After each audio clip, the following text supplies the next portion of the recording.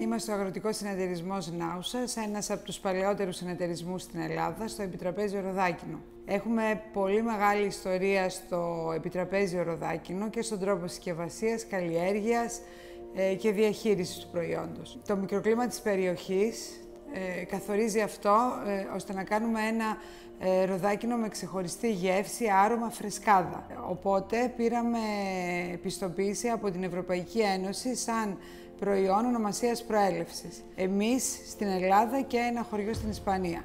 Οπότε ξεχωρίζουμε και κατέχουμε ιδιαίτερη θέση και στις αγορές της Ευρώπης, της ε, Αραβικής ε, Χερσονήσου και γενικότερα σε όλο τον κόσμο όπου μπορεί να φτάσει το ροδάκινο. Τα μέλη του συνεταιρισμού είναι περίπου στις χίλιες οικογένειες, εκπαιδευμένες στην καλλιέργεια του επιτραπέζιου ροδακίνου, του pop ροδακίνου της Νάουσας. Φυσικά η θέση της Νάουσας και των χτιμάτων που είναι στους πρόποδες του Βερμίου ε, βοηθάνε πάρα πολύ στην, ε, στο πόπροδάκινο, στη γεύση του, στο άρωμά του, στην αντοχή του, αλλά και ο τρόπος διαχείρισης των οικογενειών αυτών. Το ροδάκινο μαζεύεται αρχές Ιουνίου μέχρι περίπου τα μέσα Σεπτέμβρη.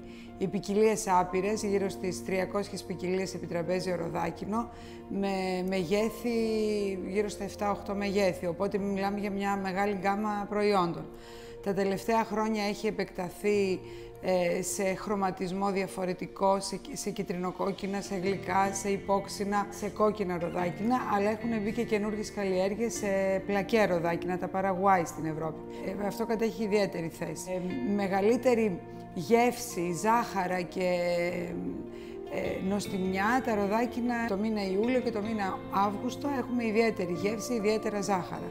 Οπότε ο πιο δυνατός μήνας εμπορίας και αναγνώρισης του ροδακίνου είναι αυτοί οι δύο μήνες, Ιούλιο και Αύγουστο. Μπορούν να φτάσουν σε μακρινές περιοχές ε, και υπερατλαντικές, με αεροπορικές ε, συνήθως μεταφορές, ε, οπότε έχουν φτάσει σε πολύ μακρινά κράτη και έχουν γευτεί όλο το ελληνικό ροδάκινο, το οποίο πραγματικά όπου και αν έχει φτάσει, όπου και αν έχει πάει, η γεύση του το κάνει ξεχωριστό.